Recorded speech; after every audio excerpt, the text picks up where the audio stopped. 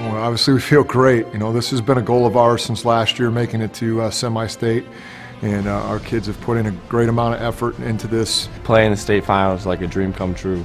I never thought this would happen. Uh, journey's been long this season, but it's coming to an end, and uh, let's go, uh, go out with a win. To win a state championship, it'll definitely be a dream come true, and it'll be the greatest feeling ever.